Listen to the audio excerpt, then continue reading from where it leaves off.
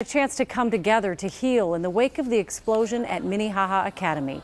More than a thousand people came together for a unity walk tonight, including many of the first responders. KARE 11's Lindsey Seavert spoke with the first police officer on the scene and has the story.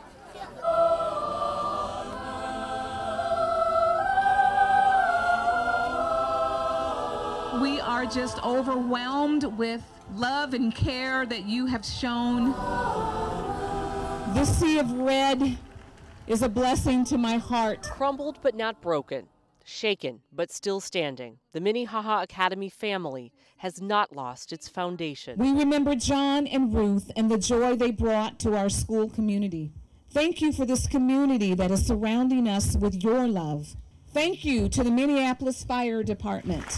Thank you to the Minneapolis Police Department. A community walk is the first step towards moving forward. We do have a solid foundation here. It's been a tough couple of weeks.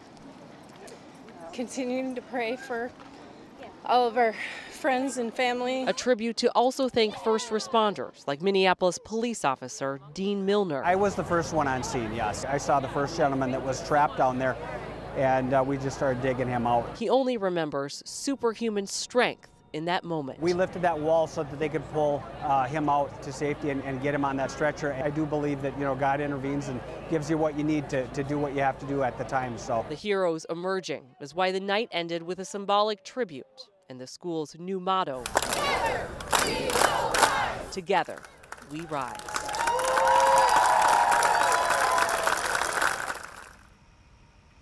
Now, here at the school, Dr. Harris also encouraged the community to start that hashtag Together We Rise. A healing night also, Julie, for students who don't know yet where they will start the school year, what building they will be in. But one senior told me while it is a very sad time, they're embracing both new and old traditions.